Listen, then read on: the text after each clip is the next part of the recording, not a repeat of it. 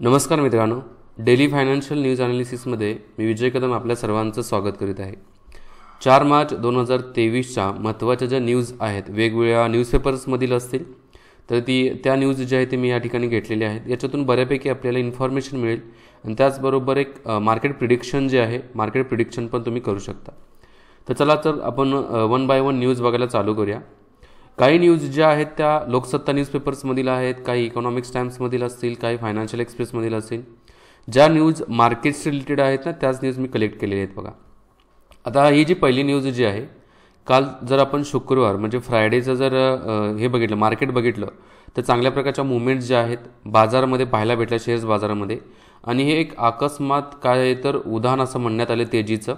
आता त्याच्या पाठीमागची एक दोन महत्त्वाची कारणं होती ती पण बघायची आहेत. आता याच्यामध्ये पहिलं कारण जर विचारात घेतलं वॉल स्ट्रीट असेल त्याचबरोबर आशियाई बाजाराचा जो कल पालट जो आहे म्हणजे त्याच्यामध्ये जे चेंजेस झाले म्हणजे एशियन मार्केट जे आहे या एशियन मार्केटमध्ये जे सकारात्मक संकेत जे आहेत पॉझिटिव्ह संकेत जे आहेत ते भेटले. आणि त्याचबरोबर देशातील आघाडीवरील जे अदानी समूहाच्या ज्या कंपन्या आहेत यांच्या समभागामध्ये खरेदी जी आहे खूप जोरात झालेली आहे. याच्यामुळे सेन्सेक्स असेल त्याचबरोबर निफ्टी असेल या सत्रामध्ये बघितल्या तर यांची जवळपास दीड टक्क्याच्या आसपास चांगल्या प्रकारे काय झालेलं आहे तर एक उसळी झालेली आहे. म्हणजे थोडक्यात याच्यामध्ये वाढ झालेली आहे बघा. म्हणजे पहिलं रिझन आपण विचारात घेतलं सेन्सेक्स जो नऊशे पॉईंट्सनं अंशाने जो उसळी झालेली आहे सेन्सेक्स वाढलेला आहे. त्याच्या पाठीमागचं रिझन जे आहे एक आशिया बाजारातील इम्पॅक्ट असेल. आणि दुसरी जी आहे जे अदानी समूहातील ज्या कंपन्या आहेत त्याचबरोबर इतर ज्या कंपन्यांच्यामध्ये जे परदेशी गुंतवणूक जे आहे फॉरेन डायरेक्टली इन्व्हेस्टमेंट नाही आहे तर foreign institutional investment F P I आपण म्हणू शकतो फॉरेन पोर्टफोलिओ म्हणू शकतो किंवा एफ आय आय असते. तर यांच्यामार्फत खूप मोठ्या प्रमाणामध्ये इन्व्हेस्टमेंट करण्यात आल्या. आणि या इन्व्हेस्टमेंटमुळं काय झालेलं आहे तर मोठ्या प्रमाणामध्ये मार्केटमध्ये एक चढ जो आहे हा चढ आपल्याला पाहायला भेटलेला आहे बघा. आता हा जो सप्ताहाचा अखेरचा भाग बघितला म्हणजे विकली एंड बघितला तर मुंबई शेअर बाजारात निर्देशांक सेन्सेक्स जो आहे तो आठशे नव्याण्णव पॉईंट्स म्हणजे एक पॉईंट त्रेपन्न टक्क्यांनी वाढलेला आहे बघा. किती झालेलं तर एकोणसाठ हजार आठशे आठ एवढा गेलेला आहे. दिवसभरामधली ही जी मुवमेंट जी आहे ती खूप जबरदस्त मुवमेंट झालेली होती. निफ्टीची बघितली तर दोनशे बहात्तर पॉईंटने निफ्टीची मुवमेंट पाहायला भेटलेली आहे. बँक निफ्टीची पण मुवमेंट खूप जबरदस्त पाहायला भेटलेली आहे. आणि या ज्या मुवमेंट्स ज्या आहेत याच्या पाठीमागचं फक्त दोनच कारणं आहेत. एक आशियाई मार्केट जे आहे ते पॉझिटिव्ह आणि जे अदानी समूहाच्या ज्या कंपन्या ज्या आहेत त्यांचे मुवमेंट पण जे आहे त्यांच्यामध्ये जी इन्व्हेस्टमेंट जी आहे ती पॉझिटिव्ह याच्यामुळेच काय झालेलं आहे तर ही तेजी आपल्याला पाहायला भेटलेली आहे बघा. नेक्स्ट न्यूज जी आहे ते सर्व्हिस सेक्टरच्या बाबतीमध्ये आहे. सेवा क्षेत्राची उत्साही कामगिरी जी आहे. म्हणजे फेब्रुवारीत तब्बल बारा वर्षांचा जर एकत्रित कार्यकाळ बघितला तर जी उच्चांकी जी आहे या सर्व्हिस सेक्टरच्या मार्फत गाठलेली आहे बघा. आता सर्व्हिस सेक्टर जो आहे याचा रोल इंटरनॅशनल लेवलला पण खूप महत्त्वाचा प्ले केला जात आहे. आणि त्याचबरोबर इंडियाच्या दृष्टिकोनातून विचार केला भारताच्या दृष्टिकोनातून विचार केला तर याचा रोल खूप इम्पॉर्टंट आहे. जवळपास एकोणसाठ टक्के जी डी पीचं जे कॉन्ट्रीब्युशन जे आहे हे सर्व्हिस सेक्टरमध्ये पाहायला भेटत आहे. म्हणजे सर्व्हिस सेक्टरमध्ये एवढा भाग जो आहे तो खूप इम्पॉर्टंट आहे as per G D P point of व्ह्यूने विचार केला तर. आणि मॅन्युफॅक्चरिंग सेक्टर आपण विचारात घेतला. सेकंडरी सेक्टर आपण म्हणतो तर त्याच्यामध्ये जॉब अपॉर्च्युनिटी खूप जास्त आहेत. आता थोडं सेवा क्षेत्राच्या बाबतीमध्ये रोजगारात मात्र अल्प वाढ झालेली असं आपण म्हणू शकतो. बट जी ओव्हरऑल वाढ आपण म्हणू शकतो जे ग्लोबल म्हणजे S N P global India services P M आयच्या निर्देशांकानुसार बघितला तर फेब्रुवारी महिन्यामध्ये एकोणसाठ पॉईंट चार टक्क्याने काय झालेलं आहे? तर गुणांच्यामध्ये वाढ झालेली आहे नोंदणी करण्यात आलेली आहे. थोडक्यात असं लक्षात ठेवू शकतो की सर्व्हिस सेक्टर्समधील ज्या कंपन्या ज्या आहेत या कंपन्यांचा जो परफॉर्मन्स जो आहे इंडियामधला तो काय आहे? तो one of the best performance झालेला आहे. त्यामुळे त्याला काय म्हटलेलं आहे तर सेवा क्षेत्र हे उत्साही कामगिरी परफॉर्म करत आहे बघा.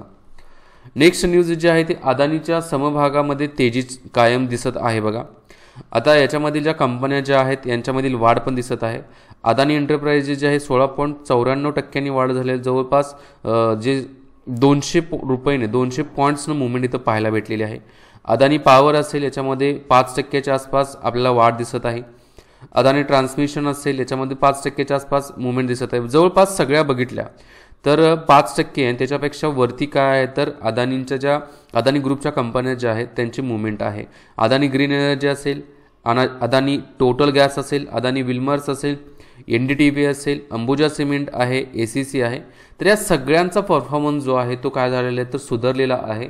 Because of the foreign directly investment जे आहे सॉरी फॉरेन पोर्टफोलिओ इन्व्हेस्टमेंट जी आहे ती मोठ्या प्रमाणामध्ये या ठिकाणी दिसत आहे बघा.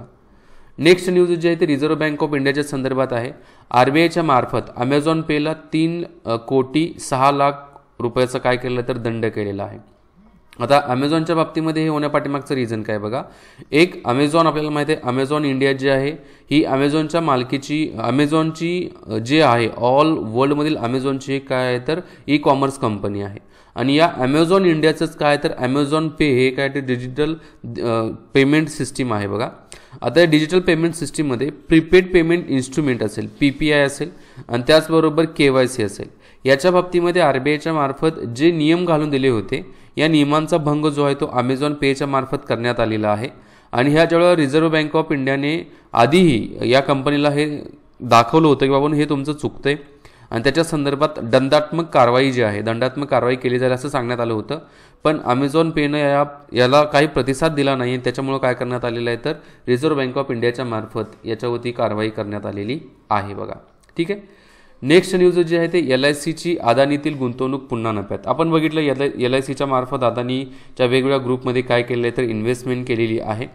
अदानी समूहातील सात कंपन्यांच्यामध्ये तीस हजार एकशे सत्तावीस कोटी रुपयाची गुंतवणूक गेल्या आठवड्यात म्हणजे तोट्याच्या उंबरट्यावर येऊन ठेपली होती.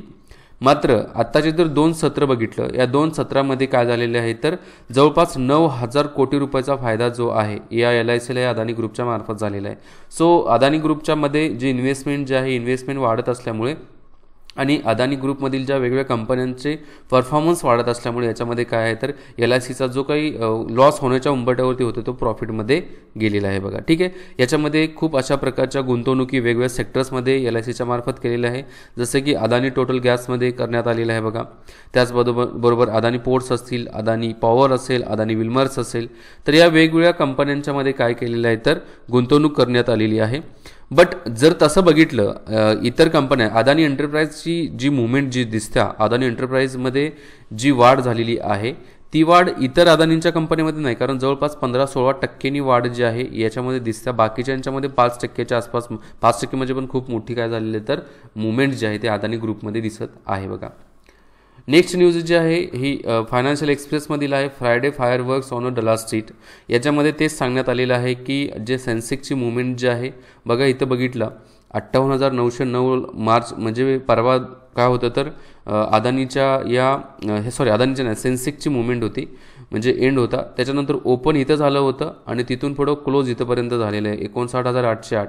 म्हणजे जवळपास इथं वन पॉईंट फाईव्ह थ्री पर्सेंटनं काय झालं तर सेन्सेक्समध्ये उसळी पाहायला भेटत आहे. आणि अदानी एंटरप्राईजमध्ये बघा सोळा साडे सोळा टक्क्यांनी काय झालेलं आहे तर मुवमेंट दिसत आहे बघा.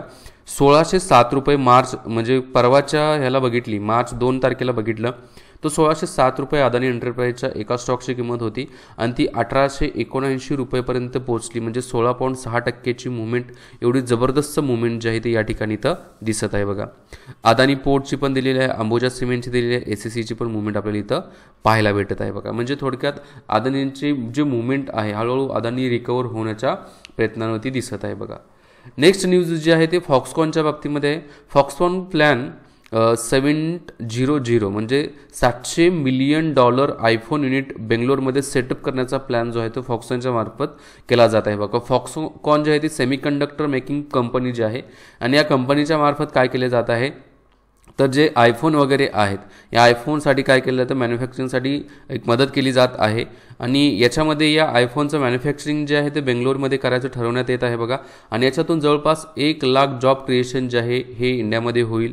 आणि हे खूप जबरदस्त आहे असे तर म्हणण्यात आलेलं आहे. आणि चीफ मिनिस्टर कर्नाटकाचे चीफ मिनिस्टर जे आहेत बसवराज बोमई यांच्यामार्फत पण हा जो नवीन प्लॅन जो आहे या नवीन प्लॅनचं स्वागत केलेलं आहे. आणि त्यांच्यामार्फतच हे स्टेटमेंट देण्यात आलेलं आहे बघा. नेक्स्ट न्यूज जी आहे ती आंध्र प्रदेशच्या बाबतीमध्ये आहे. जवळपास ट्रेल तेरा ट्रिलियन रुपीज एवढी इन्व्हेस्टमेंट जी आहे ही आंध्र प्रदेशमध्ये करायचं काय केलेलं आहे तर ग्लोबल इन्व्हेस्टमेंट समिट जी झाली दोन हजार तेवीसमध्ये माझे तीन चार मार्चला विशाखापट्टणम या ठिकाणी. तर याच्यामध्ये हे डिसाईड करण्यात आलेलं आहे. याच्यामध्ये रिलायन्सच्या मार्फत जवळपास चाळीस हजार करोड रुपयाची इन्व्हेस्टमेंट केली जाणार आहे. दहा गिगावॅट सोलार एनर्जी संदर्भात असेल त्याचबरोबर फाईव्ह जी रोल आउट करण्याच्या संदर्भात असेल. त्याचबरोबर जी एम आर ग्रुप जो आहे यांच्या मार्फत काय करण्यात आले? तर इंटरनॅशनल एअरपोर्टसाठी पाच हजार कोटी रुपयाची इन्व्हेस्टमेंट केली जाईल. त्याच्यानंतर अदानी ग्रुपच्या मार्फत पंधरा हजार मेगावॅटची इलेक्ट्रिसिटी जनरेशनच्या रिन्युएबल एनर्जी पॉवर जनरेशनच्या संदर्भात सांगण्यात आलेलं आहे. आणि डेटा सेंटर पण मॅन्यु येतं या ठिकाणी बसवलं जाईल. जिंदा स्टीलच्या मार्फत जवळपास दहा हजार कोटी रुपयाची इन्व्हेस्टमेंट करून जवळपास दहा हजार जॉब क्रिएशनवरती काय केला जाईल तर फोकस केला जाईल अशा प्रकारचे इथं सांगण्यात आलेलं आहे बघा.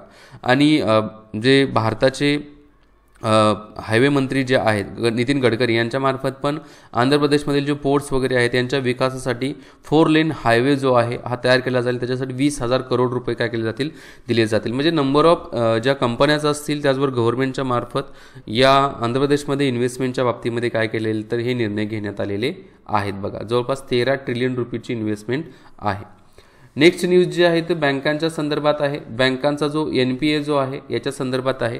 बँकांचा ग्रॉस एन पी ए जो आहे हा सव्वीस टक्केनं डिसेंबरमध्ये इन डिसेंबरमध्ये डिक्लाईन झालेला आहे. तो किती रुपये? म्हणजे सहा point zero five trillion rupees एवढा. म्हणजे बघा सगळ्यात कमी इथं दिसत आहे बघा एन पी ए जो आहे हा दिसत आहे कमी झालेला आहे ग्रॉस एन पी ए आता एन पी ए म्हणजे काय? नॉन परफॉर्मिंग असेट म्हटलं जातं एन पी एला ज्या बँकांच्या मार्फत लोन दिलं जातं त्या लोनची जर परतफेड जर केली केली गेली नसेल तीन महिन्यापर्यंत. मग ती मुद्दल असेल त्याचबरोबर व्याज असेल तर त्यावेळेला त्याला एन पी एमध्ये काउंट केलं जातं.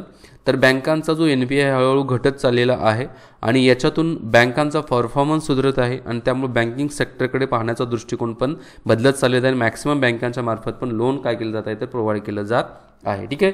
तर अशा प्रकारच्या काहीतरी या महत्त्वाच्या न्यूज आहेत. मी इथं थांबतो. जय हिंद.